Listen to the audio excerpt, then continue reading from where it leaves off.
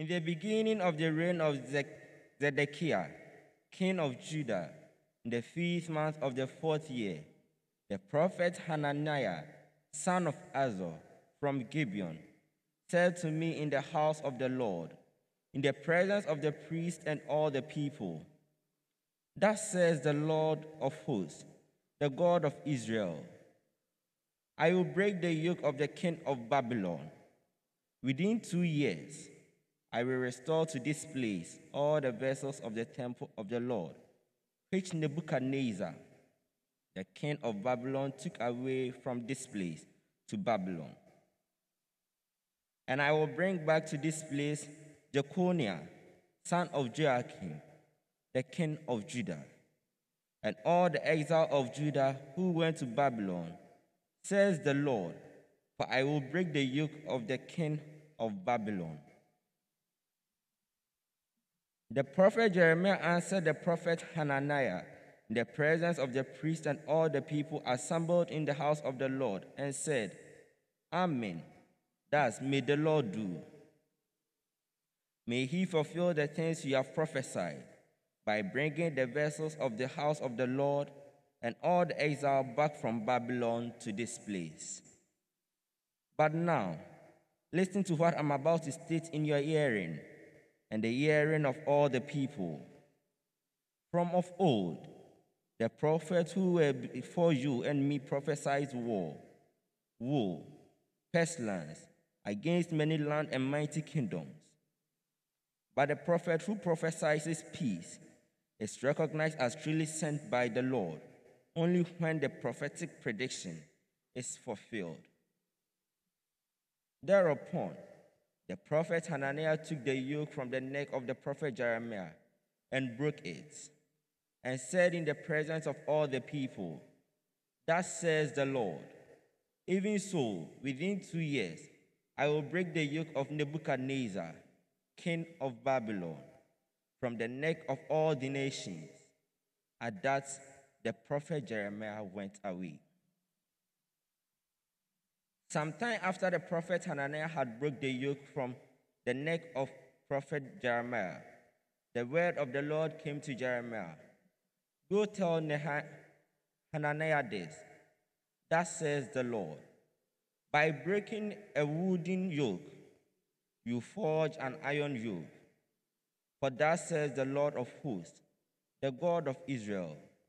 A yoke of iron I will place on the neck of all these nations serving Nebuchadnezzar, king of Babylon, and all shall serve him, even the beasts of the field I give him. To the prophet Hananiah, the prophet Jeremiah said, Hear this, Hananiah, the Lord has not sent you, and you have raised false confidence in this people. For this, says the Lord, I will dispatch you from the face of the earth. This very year you shall die, because you have preached rebellion against the Lord. That same year, in the seventh month, Hananiah the prophet died. The word of the Lord. Lord, teach me your statutes.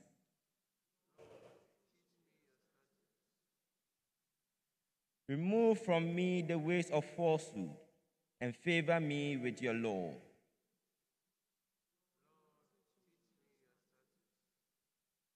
Take not the word of truth from my mouth, for in your ordinance is my hope.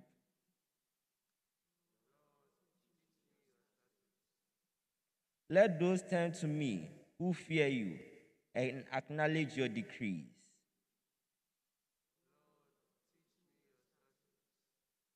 Let my heart be perfect in your statutes, that I mean that I be not put to shame. Sinners ways to destroy me, but I pay heed to your decrees. From your ordinances I turn not away, for you have instructed me.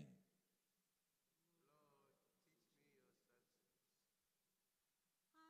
Hallelujah. eh, eh. Hallelujah. eh. Hallelujah. eh, eh. Yeah, that's hallelujah. Hallelujah. Hallelujah. Hallelujah. One does not live on bread alone, but on every word that comes forth from the mouth of God.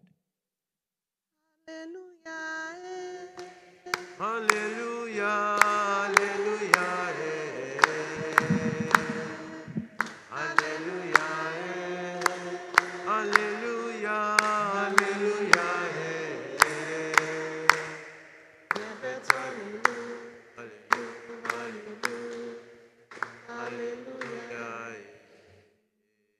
Lord be with you. A reading from the Holy Gospel according to Matthew. When Jesus heard of the death of John the Baptist, he withdrew in a boat to a deserted place by himself. The crowds heard of this and followed him on foot from their towns. When he disembarked and saw the vast crowd, his heart was moved with pity for them, and he cured their sick. When it was evening, the disciples approached him and said, This is a deserted place, and it is already late. Dismiss the crowds so that they can go to the villages and buy food for themselves. He said to them, There is no need for them to go away. Give them some food yourselves. But they said to him, Five loaves and two fish are all we have here. Then he said, Bring them here to me. And he ordered the crowds to sit down on the grass. Taking the five loaves and two fish, and looking up to heaven, he said the blessing, broke the loaves, and gave them to the disciples, who in turn gave them to the crowds. They all ate and were satisfied, and they picked up the fragments left over, 12 wicker baskets full.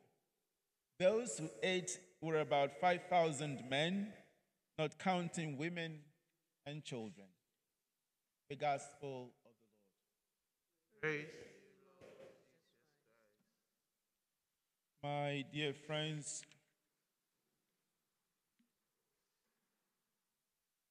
a prophet, which all the baptized are prophets, because when you are baptized, the crown of your head is anointed with the oil of chrism, with accompanying words that go like, just as Christ is priest, prophet, and priest, prophet, and king, so are you. In other words, by virtue of our baptism, we participate in the prophetic, kingly, and priestly ministry of Jesus. Who is a prophet? From the Hebrew, the prophet is supposed to be a spokesperson for God. So the, the prophet speaks for God. The, per- the prophet brings the people's concerns to God. But there is one thing. So, how do we then distinguish between a false prophet and then an authentic prophet? The first reading of today helps to answer that question. In the story, we have two prophets presented to us Hananiah and Jeremiah. The two of them call themselves prophets. But who is the more authentic prophet? Jeremiah leads us to that answer. He says, ordinarily, a prophet of God lambasts people for their evil doing, telling them of evil consequences for their actions. But when a prophet prophesies that something good is going to happen to someone, The only way to know that that prophecy is authentic is for that prediction to come true. And so, in the case of Hananiah, who is saying, Oh, don't worry about Jeremiah and all that he's saying, and that you people who have gone, who are being bothered by Nebuchadnezzar and his people, you will be free. The yoke of Nebuchadnezzar will be lifted. In two years, all this problem imposed by, Je- by Nebuchadnezzar will be no more. The yoke will be broken. You'll be free. You will not go into exile. And if, in fact, those who have already been taken away will return. Jeremiah says, Hananiah, are you sure of what you're saying? Yes, I'm sure. Okay. Then what happens? Happens is that when Jeremiah tells him, You are giving the people false hopes and that you will die because you have prophesied falsely, what happens is that Hananiah actually dies, thereby authenticating the, the, the, the prophetic ministry of Jeremiah. What he says comes to pass. So, my dear friends, today that we celebrate St. Alphonsus, one who was bishop, doctor, and preached about, wrote about virtues, how to live the authentic Christian life, Holy Mother, the Church, wants to remind us of our Christian vocation. We are called to be prophets, we are called to speak the truth, we are called to be spokesperson for God, we are called to bring people to an authentic worship of God. A worship, an authentic worship of God is defined by appropriate reverence, appropriate respect, appropriate obedience. That's what authentic Catholic Christianity is about. When we don't listen to authentic prophetic utterance, then definitely we know the difference. And as, as, as, as Jeremiah told Hananiah, because you have prophesied falsely, you will die. When we don't listen to authentic prophetic utterance, we will die in our sin.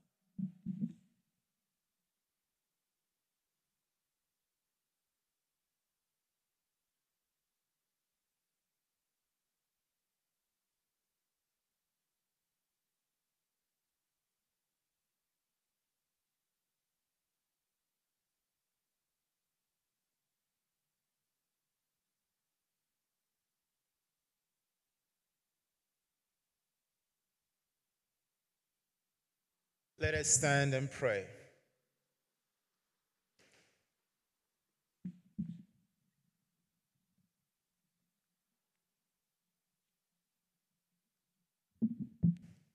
Let us pray.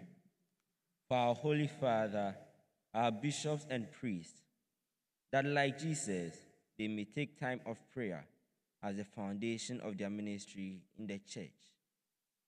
We pray to the Lord. Lord, hear our prayer. That world leaders may walk in the way of the law God has written on every man's heart, keeping his ordinances and paying heed to his decrees. We pray to the Lord. Lord, hear our prayer.